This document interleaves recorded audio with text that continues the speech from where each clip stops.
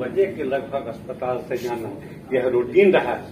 इतने गंभीर ऑपरेशन के बाद इतना अदम्य साहस का इन्होंने परिचय दिया है, काबिल तारीफ़ है, वो दूसरे किसी से नहीं और ये अविकरणीय कि सब समय से आना और तीन बजे जाना, इस अस्पताल के लिए ये रिमार्केबल बात है, जो कि दूसरे लोगों को भी इसका अनुकरण करना चाहिए।